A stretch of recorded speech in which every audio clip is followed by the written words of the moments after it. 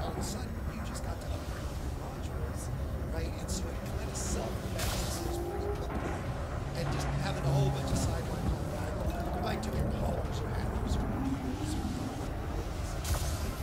or almost down. Pretty big. You'll. Caustic, caustic. Another shield come. Alright guys, I think it's time for ramming. Get ready for a second EMP.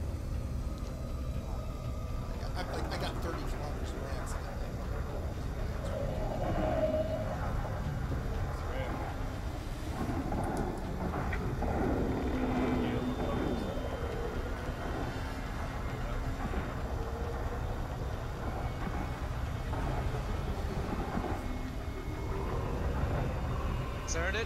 Our last heart, guys. Let's do it. Felipe says, uh, I'm used to a pasta blowing up after Hostage is the one doing the blowing up on the CQC. CQC, yeah. Hostage is definitely our CQC. Mark at 6%. Where's that behind this guy?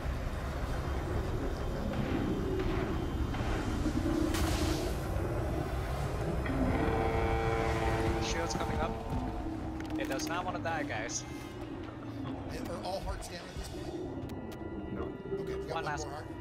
Is that an EMP pulse? Yep, Yep. there it goes. Oh boy. Got me. Oh, Got me. Uh, Shit. cost Did not expect that. oh, got me. I'm at 4%. Anyone that has caustic on them now, uh, I'm sorry to inform you.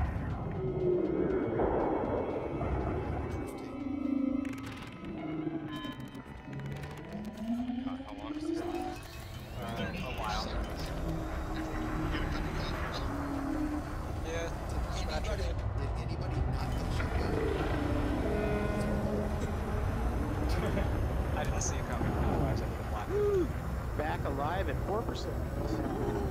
Right back to it. Back at 61, I'm alright. I'm fine.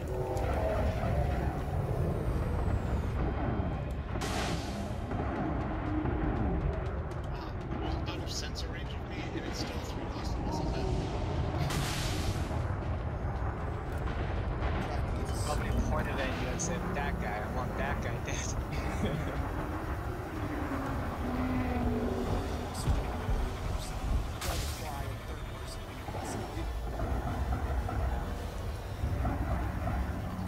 Caustic. One percent.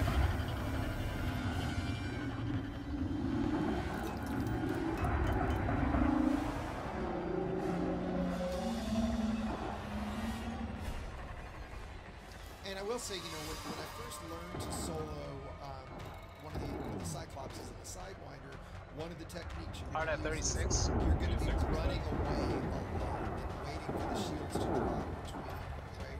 And I really at first like didn't like that because it's like I don't know, it just feel like I don't run away from the thing constantly. But it's uh, like what you said. It's certainly for a beginner, pretty much the only way to do it solo is to wait for the shields to drop between cycles. Yes, it's a good time for you to uh, either put a repair